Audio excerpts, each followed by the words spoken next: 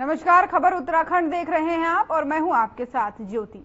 मुख्यमंत्री पुष्कर सिंह धामी ने मंगलवार को मुख्यमंत्री कैंप कार्यालय में आदर्श चंपावत के तहत संचालित योजनाओं और प्रस्तावित कार्यक्रमों की समीक्षा की। उन्होंने जिलाधिकारी चंपावत को निर्देश दिए कि चंपावत स्थित सर्किट हाउस का विस्तारीकरण का कार्य जो है वो तेज़ी से किया जाए। वहीं निर्माण कार्य में गुणवत्ता का विशेष ध्यान रखा जाए।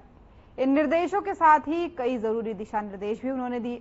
जिलाधिकारी चंपावत नवनीत पांडे ने कहा कि मुख्यमंत्री घोषणा के तहत चंपावत में मास्टर प्लान के तहत भूमि चिन्हित कर पाँच जोन बनाए गए हैं, जिसमें स्टेडियम, कल्चर थिएटर, गोलजू मंदिर परिसर मल्टी स्टोरी पार्किंग और अप्रोच रोड से संबंधित कार्य योजना बनाई गई है।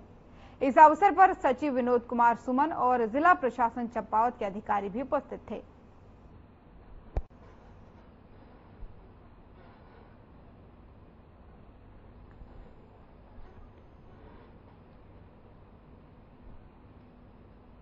उत्तराखंड के मुख्यमंत्री पुष्कर सिंह धामी ने लोक निर्माण विभाग के दौरान अधिकारियों को 30 नवंबर तक सड़कों को पूर्ण रूप से गड्ढा मुक्त बनाने के निर्देश दिए हैं। वहीं आपको बता दें कि सीएम के निर्देश के बाद से लोक निर्माण विभाग के जो अधिकारी हैं, वो त्वरित गति से काम करते हुए नज़र आए। और साथ ही आपको ये भी बता दें कि राजधानी देहरादून में 8 और 9 दिसंबर को ग्लोबल इन्वेस्टर समिट का आयोजन होना है। और इसके तहत सभी तैयारियाँ फ़िलहाल पूरी की जा रही हैं और पूरे शहर को रंग रोगन करके सजाया जा रहा है और सड़कों को गड्ढा मुक्त बनाने के लिए मुख्यमंत्री पुष्कर सिंह धामी ने पीडब्ल्यूडी विभाग को ये दिशा निर्देश दिए हैं।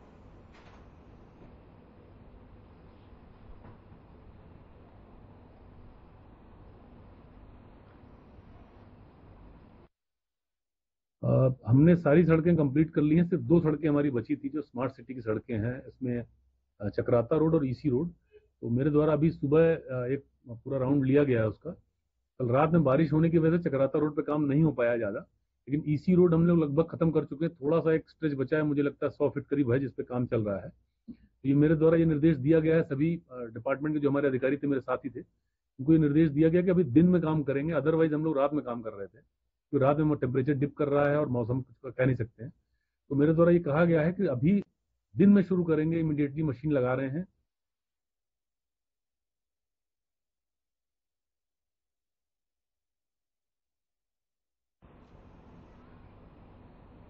खबरों में वक्त हो चला है एक छोटे से ब्रेक का जल्द हाजिर होंगे।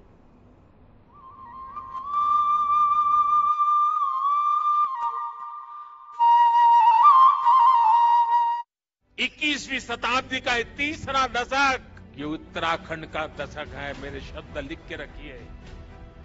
देवभूमि उत्तराखंड, भारत की आध्यात्मिक, धार्मिक, सांस्कृतिक और ऐतिहासिक धरोहरों का केंद्र है, जिसे प्रधानमंत्री नरेंद्र मोदी जी के मार्गदर्शन और मुख्यमंत्री पुष्कर सिंह धामी जी के नेतृत्व ने आर्थिक शक्ति के रूप में परिवर्तित करने का संकल्प लिया है। देश की राजधानी दिल्ली के पास होने की वजह से उत्तराखंड निवेशकों के लिए एक पसंदीदा डेस्टिनेशन के रूप में उभरा है। निवेश की असीमित संभावनाओं को साथ लिए 30 से अधिक इन्वेस्टर फ्रेंडली नीतियाँ सिंगल विंडो सिस्टम सस्ती बिजली, यहाँ की स्किल्ड मैन पावर और बेहतर कानून व्यवस्था दुनिया भर के निवेशकों को आकर्षित करने के लिए तैयार है।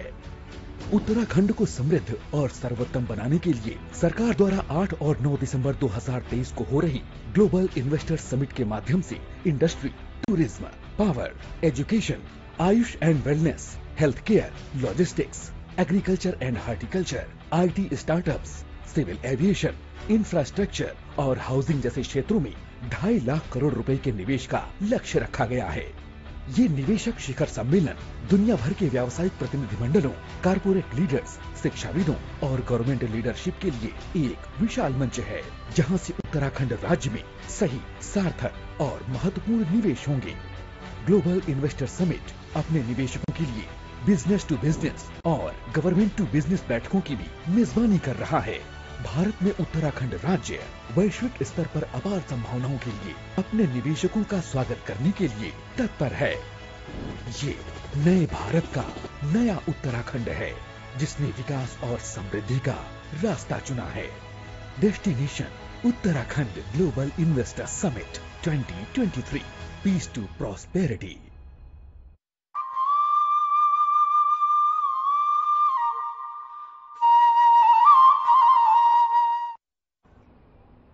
break के बाद एक बार फिर से स्वागत है आप सभी का। चलिए खबरों में आगे बढ़ेंगे। देहरादून में 8 और 9 दिसंबर को इन्वेस्टर समिट आयोजित किया जा रहा है। इस समिट में प्रधानमंत्री नरेंद्र मोदी उद्घाटन के मौके पर मौजूद रहेंगे। वहीं गृह मंत्री अमित शाह भी इस समिट में आने वाले हैं। प्रदेश सरकार इस कार्यक्रम को सफल बनाने के लिए हर स्तर से तैयारियों में जुटी हुई है। वहीं उत्तराखंड कांग्रेस के प्रदेश अध्यक्ष करण माहरा ने सरकार के दावों पर सवाल खड़े किए हैं। उन्होंने कहा है कि सरकार ज़ोर शोर से जितना प्रचार और प्रसार कर रही है, उसका कोई खास असर नहीं होने वाला है। साथ ही उन्होंने कहा कि 2018 में भी त्रिवेंद्र सिंह रावत सरकार के दौरान इन्वेस्टर समिट किया गया था और उसको भी काफ़ी प्रचारित किया गया था, लेकिन धरातल पर कुछ भी निकलकर सामने नहीं आया। वहीं कांग्रेस के प्रदेश अध्यक्ष ने प्रदेश सरकार की तमाम कमियों को इंगित किया और उस पर सवाल भी उठाए।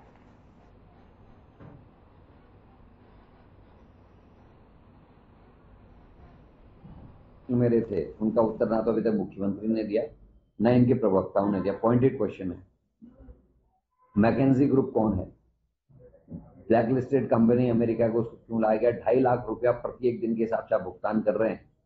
कितने कदम आगे बढ़ी? वो भी इन्वेस्टमेंट के लिए लाई गई थी। पंडित नारायण दत्त तिवारी ने सॉलिड बेस दिया जिसमें सेटकुलों की स्थापना की यहाँ और उधम सिंह नगर में। जितने उद्योग आए, जितनी इन्वेस्टमेंट आई थी, उसमें से कितनी बची है, कितने उद्योग यहाँ से चले गए और गए तो उनके कारण क्या है? तीसरा, ऐसी कंपनी से करार लंदन जाके क्यों किया गया जो ऑलरेडी उत्तराखंड में काम कर रही है? कलकत्ता बेस्ड कंपनी है, गाजियाबाद में उसका हेड ऑफ़िस है, वो यहाँ ऑलरेडी काम कर चुकी है। संपर्क में उससे यही एम हुआ तीन, चौथा, कि जो बिजली की आवश्यकता होती है लॉ एंड ऑर्डर की आवश्यकता होती है, सड़कें दुरुस्त उसकी आवश्यकता होती है। वहीं ग्लोबल इन्वेस्टर समिट को लेकर के उत्तराखंड में तैयारियाँ ज़ोर शोर पर हैं। इसी समीक्षाएँ, इसकी जो समीक्षाएँ है, वो खुद मुख्यमंत्री पुष्कर सिंह धामी लगातार कर रहे हैं। वहीं देहरादून की जिलाधिकारी सोनिका मीणा ने बताया कि एफआरआई परिसर में इसको लेकर तैयारियाँ लगातार चल रही हैं और 8 और 9 दिसंबर को इन्वेस्टर समिट समेत देहरादून में एफआरआई भी प्रस्तावित है। साथ ही आपको बता दें कि जिलाधिकारी ने बताया कि 50 से ज़्यादा देशों के प्रतिनिधि इस समिट में शामिल होने के लिए आ रहे हैं। वहीं जिला प्रशासन और पुलिस लगातार इसकी तैयारियाँ कर रही है। साथ ही आपको बता दें कि इनमें शामिल होने के लिए प्रधानमंत्री नरेंद्र मोदी भी आ सकते हैं, जिसको लेकर के एसपीजी भी लगातार एफआरआई में सुरक्षा व्यवस्थाओं का जायजा ले रही है। हम लोगों ने तैयारियाँ तो करीबन दो महीने से पहले ही चालू कर दी थी और अब तो फाइनल स्टेजेस में है सारी तैयारियाँ, चाहे रोड हो गई, चाहे सफ़ाई व्यवस्था हो गई पोल्स की सफ़ाई हो गई यूपीसीएल के कार्य हो गए, नगर निगम के कार्य हो गए एमडीडीए के कार्य हो गए फसाड के पेंटिंग के, सभी चल रहे हैं एफआरआई क्योंकि साइट है, वहाँ भी इवेंट मैनेजमेंट कमेटी कंपनी ने अपने कार्य शुरू कर दिए हैं और फाइनल स्टेजेस में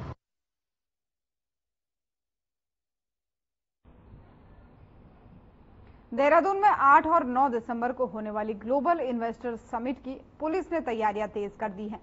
पुलिस का आयोजन स्थल एफआरआई के आसपास सुरक्षा के साथ ही शहर में ट्रैफ़िक और कानून व्यवस्थाएँ बनाए रखने पर पूरा फोकस है।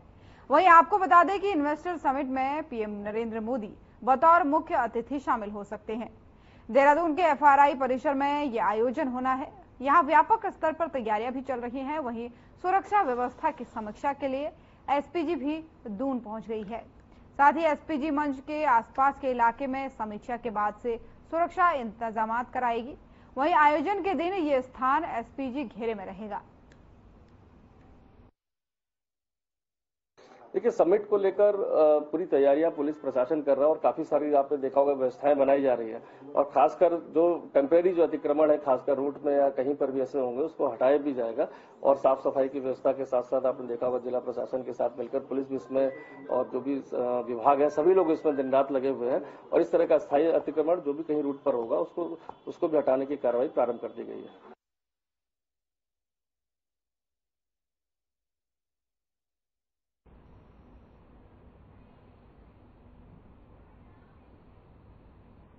खबरों में वक्त हो चला है एक छोटे से ब्रेक का जल्द हाजिर होंगे।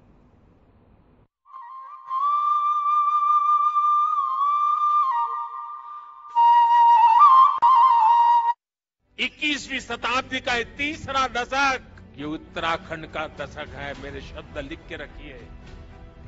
देवभूमि उत्तराखंड भारत की आध्यात्मिक धार्मिक सांस्कृतिक और ऐतिहासिक धरोहरों का केंद्र है।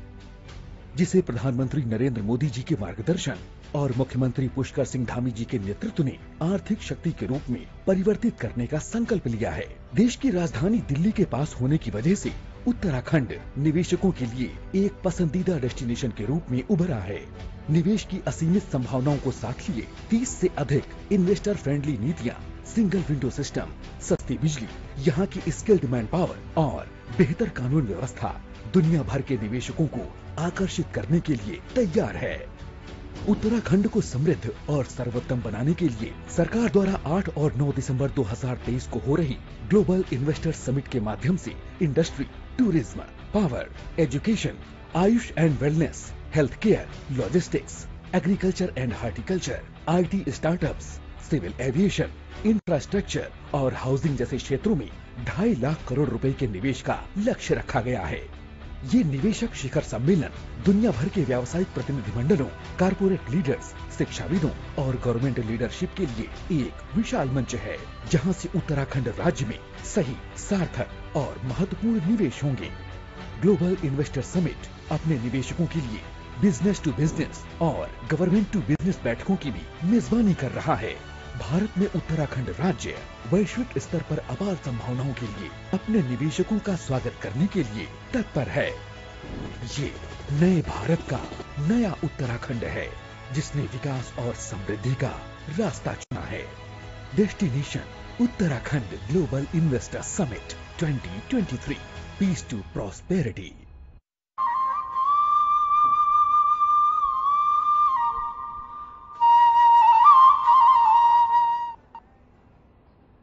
Break के बाद एक बार फिर से स्वागत है आप सभी का। चलिए खबरों में आगे बढ़ेंगे। पाँच राज्यों मध्य प्रदेश छत्तीसगढ़, राजस्थान, तेलंगाना और मिजोरम, जिसमें से तीन राज्यों में मध्य प्रदेश छत्तीसगढ़ और राजस्थान में बीजेपी को प्रचंड जीत मिली। वहीं आपको बता दें कि तेलंगाना में कांग्रेस की सरकार बनी। ऐसे में बीजेपी लोकसभा चुनाव से पहले इन चुनाव को सेमीफाइनल बता रही है। साथ ही बीजेपी तीनों राज्यों में जीत का श्रेय प्रधानमंत्री नरेंद्र मोदी को दे रही है। वहीं उत्तराखंड सरकार के कैबिनेट मंत्री सतपाल महाराज ने कहा कि जो तीनों राज्यों में चुनाव हम जीते हैं, इसका श्रेय प्रधानमंत्री मोदी को जाता है। पार्टी अध्यक्ष जेपी नड्डा और कार्यकर्ताओं को जाता है। सतपाल महाराज ने कहा कि जब वो छत्तीसगढ़ में प्रचार के लिए गए तो उन्होंने वहाँ देखा कि कांग्रेस में अंतर्द्वंद चल रहा है। इस कारण कांग्रेस को हार का सामना करना पड़ा। जो है, ये माननीय हमारे यशस्वी प्रधानमंत्री जी को जाता है। कार्यकर्ताओं को जाता है, नड्डा जी को जाता है, अमित शाह जी को जाता है और सभी ने मिलकर के काम किया। मुझे छत्तीसगढ़ जाने का मौका मिला, सरगुजा, रायपुर, वहाँ की जो विधानसभाएँ थी और चौदह जो क्षेत्र थे, वहाँ में जाकर के बारह हम जिता करके आए। तो मैंने देखा एक लहर चल रही थी और कांग्रेस के अंदर अंतर्द्वंद था। मुख्यमंत्रियों की लड़ाई हो रही थी, एक व्यक्ति दूसरे मुख्यमंत्री को हराने में लगा था, दूसरा पहले वाले को हराने में लगा था। तो अंतर्द्वंद के कारण जो है और दूसरा मुद्दा जो था, वो सनातन का मुद्दा था। क्योंकि लोग नहीं चाहते कि धर्म के नाम पर देश का विभाजन हो। तो सभी को ये था कि जो एक एजेंडा दिया था आईएनडीए ने कि हम एक कोरोना वायरस की तरह, मलेरिया की तरह सनातन को खत्म करेंगे तो ये लोगों को उचित नहीं लगा। जनपद उधम सिंह नगर में खटीमा के उप जिलाधिकारी रविंद्र सिंह बिस्ट नगर पालिका परिषद के प्रशासक बनने के बाद से एक्टिव मोड में नज़र आ रहे हैं। उप जिलाधिकारी होने के बाद के नाते खटीमा की सारी समस्याओं को काफ़ी बारीकी से समझने के बाद त्वरित कार्रवाई करने के निर्देश भी मौके से देते हुए नज़र आए। उन्होंने सख्त आदेश देते हुए कहा कि सड़कों पर अतिक्रमण बिल्कुल भी बर्दाश्त नहीं किया जाएगा। वहीं अतिक्रमण के कारण बीमार लोगों को, अस्पताल और बच्चों को स्कूल जाने में बहुत दिक्कतें होती है, जिसके बाद जल्द से जल्द अतिक्रमण हटाने का आदेश दिया गया। अगर दिए गए समय सीमा के अंदर सभी अतिक्रमणकारी अपना अतिक्रमण नहीं हटाते तो बलपूर्वक हटा दिया जाएगा।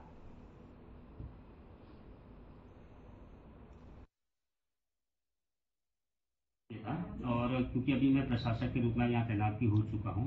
लिहाजा इनको मैंने सात एक हफ़्ते का समय दिया है कि अपने सारे अतिक्रमण जिन्होंने भी मतलब सड़कों में अतिक्रमण किया है या अपनी दुकानों को बढ़ाकर माल को तंग कर दिया है तो एक सप्ताह के अंदर उसको हटाने अन्यथा हम अपनी कार्रवाई उसमें करेंगे और उसको ज़बरदस्ती हटाएँगे। हमारी सरकारी भूमि है चाहे वर्ग चार की भूमि हो चाहे पाँच एक की भूमि हो या रोड हो हमारे नाले हो इसमें जहाँ पर भी अतिक्रमण हो उसको हटाया जाएगा और एक जो जाम की स्थिति जो हमारे यहाँ पर शहर में आम तौर पर देखी जाती है उससे निजात दिया है।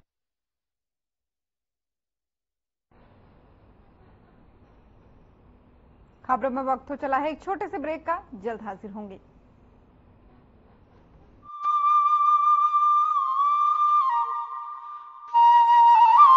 इक्कीसवीं शताब्दी का तीसरा दशक ये उत्तराखंड का दशक है मेरे शब्द लिख के रखिए। देवभूमि उत्तराखंड, भारत की आध्यात्मिक, धार्मिक, सांस्कृतिक और ऐतिहासिक धरोहरों का केंद्र है, जिसे प्रधानमंत्री नरेंद्र मोदी जी के मार्गदर्शन और मुख्यमंत्री पुष्कर सिंह धामी जी के नेतृत्व ने आर्थिक शक्ति के रूप में परिवर्तित करने का संकल्प लिया है। देश की राजधानी दिल्ली के पास होने की वजह से उत्तराखंड निवेशकों के लिए एक पसंदीदा डेस्टिनेशन के रूप में उभरा है। निवेश की असीमित संभावनाओं को साथ लिए 30 से अधिक इन्वेस्टर फ्रेंडली नीतियाँ सिंगल विंडो सिस्टम, सस्ती बिजली, यहाँ की स्किल्ड मैन पावर और बेहतर कानून व्यवस्था दुनिया भर के निवेशकों को आकर्षित करने के लिए तैयार है। उत्तराखंड को समृद्ध और सर्वोत्तम बनाने के लिए सरकार द्वारा 8 और 9 दिसंबर 2023 को हो रही ग्लोबल इन्वेस्टर समिट के माध्यम से industry tourism power education Ayush and wellness health care logistics agriculture and horticulture IT startups civil aviation infrastructure और हाउसिंग जैसे क्षेत्रों में ढाई लाख करोड़ रुपए के निवेश का लक्ष्य रखा गया है। ये निवेशक शिखर सम्मेलन दुनिया भर के व्यावसायिक प्रतिनिधिमंडलों कारपोरेट लीडर्स शिक्षाविदों और गवर्नमेंट लीडरशिप के लिए एक विशाल मंच है, जहाँ से उत्तराखंड राज्य में सही, सार्थक और महत्वपूर्ण निवेश होंगे। ग्लोबल इन्वेस्टर समिट अपने निवेशकों के लिए बिज़नेस टू बिज़नेस और गवर्नमेंट टू बिज़नेस बैठकों की भी मेजबानी कर रहा है। भारत में उत्तराखंड राज्य वैश्विक स्तर पर अपार संभावनाओं के लिए अपने निवेशकों का स्वागत करने के लिए तत्पर है। ये नए भारत का नया उत्तराखंड है, जिसने विकास और समृद्धि का रास्ता चुना है। Destination Uttarakhand global investor summit 2023 peace to prosperity.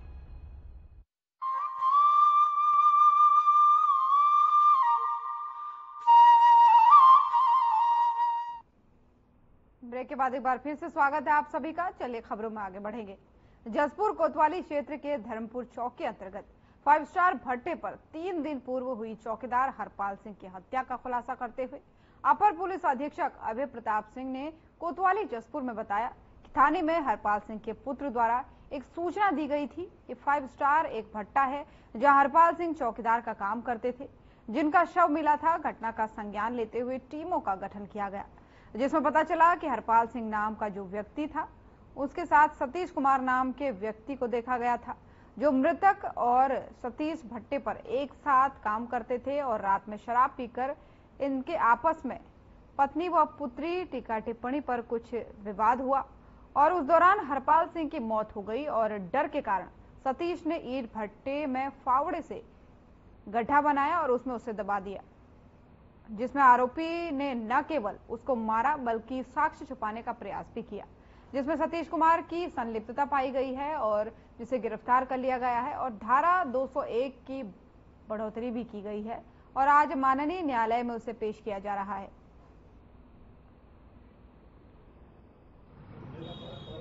एक तारीख से स्वामी है शहजाद इन्होंने की, जो फाइव स्टार की थी बाद में मृतक के पुत्र लोकेंद्र कुमार के द्वारा एक तहरीर दी गई थी, जिसमें इनके द्वारा ये बताया गया कि इनके पिताजी जो हरपाल सिंह जी थे, जो कि फाइव स्टार की भट्टे पे काम करते थे, और साथ में ही एक व्यक्ति जिसका नाम सतीश कुमार था, वो भी काम करता था। लास्ट टाइम इनके पिताजी वहीं उन्हीं के साथ ही थे। और बाद में इनकी जो डेड बॉडी थी, वो मिट्टी के अंदर मिली थी, जिसमें कुछ इनके पार्ट बॉडी के वो दिख रहे थे। और वहीं उत्तरकाशी के शिलक्यारा की घटना के बाद से कांग्रेस ने आपदा प्रबंधन तंत्र को लेकर के काफ़ी सवाल उठाए हैं। कांग्रेस पार्टी के प्रदेश उपाध्यक्ष सूर्यकांत धसमाना ने कोटद्वार में पत्रकारों से बातचीत करते हुए कहा कि प्रदेश का आपदा प्रबंधन तंत्र मात्र दिखावे तक ही सीमित रह गया है। सूर्यकांत धसमाना ने कहा कि चारधाम परियोजना पर जितने भी टनल का काम चल रहा है, उन सभी की जाँच होनी चाहिए।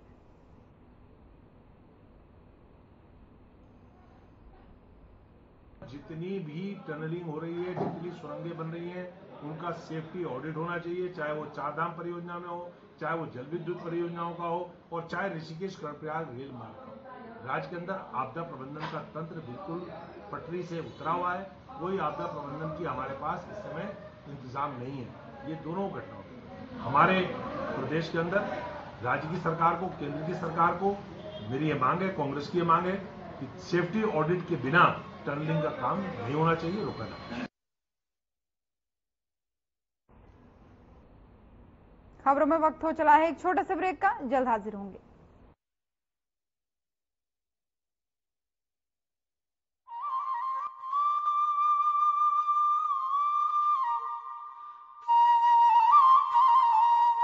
इक्कीसवीं शताब्दी का तीसरा दशक ये उत्तराखंड का दशक है मेरे शब्द लिख के रखिए।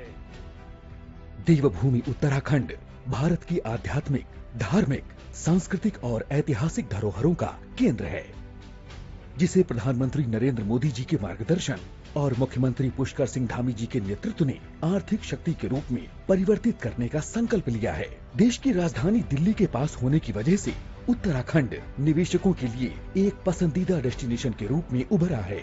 निवेश की असीमित संभावनाओं को साथ लिए 30 से अधिक इन्वेस्टर फ्रेंडली नीतियाँ सिंगल विंडो सिस्टम सस्ती बिजली, यहाँ की स्किल्ड मैन पावर और बेहतर कानून व्यवस्था दुनिया भर के निवेशकों को आकर्षित करने के लिए तैयार है।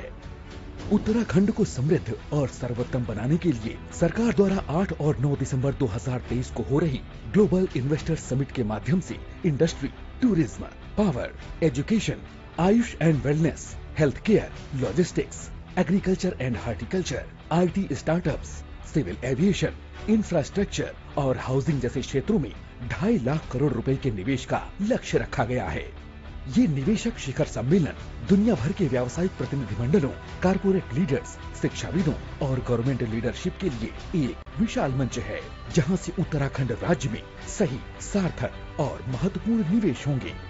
ग्लोबल इन्वेस्टर समिट अपने निवेशकों के लिए बिज़नेस टू बिज़नेस और गवर्नमेंट टू बिज़नेस बैठकों की भी मेजबानी कर रहा है। भारत में उत्तराखंड राज्य वैश्विक स्तर पर अपार संभावनाओं के लिए अपने निवेशकों का स्वागत करने के लिए तत्पर है। ये नए भारत का नया उत्तराखंड है, जिसने विकास और समृद्धि का रास्ता चुना है। Destination Uttarakhand global investor summit 2023 peace to prosperity.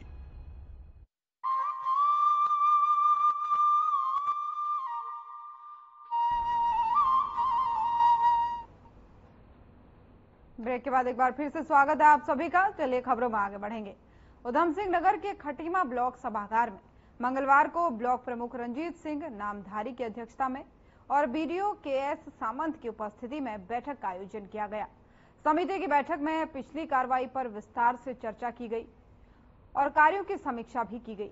लंबित कार्यों को जल्द पूरा करने का समय सीमा भी निर्धारित करने के साथ ही निर्देश भी दिए गए। वहीं बैठक में विद्युत विभाग, स्वास्थ्य विभाग, लोक निर्माण विभाग, पेयजल जल संस्थान और अन्य कर्मचारी भी मौजूद रहे, जिन्होंने अपने विभागों से संबंधित जन कल्याणकारी योजनाओं और सुविधाओं की जानकारी लोगों को दी। बैठक का संचालन सहायक खंड विकास अधिकारी धर्मेंद्र सिंह कन्याल ने किया।